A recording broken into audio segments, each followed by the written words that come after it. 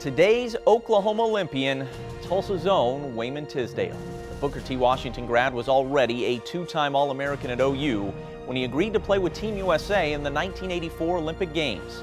Coached by Bobby Knight and teamed up with Michael Jordan and Patrick Ewing, Tisdale averaged nearly nine points and six rebounds per game as the Americans win a perfect 8-0 to claim the gold medal.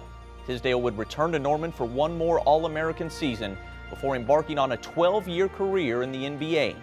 Tisdale, who battled cancer, passed away in May of 2009 at the age of 44.